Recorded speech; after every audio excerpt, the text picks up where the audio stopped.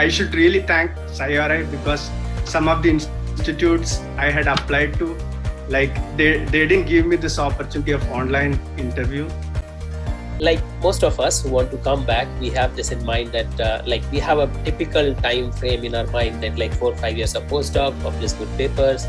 get couple of uh, like you understand your project, prepare something in your project, and write back to the Indian Academy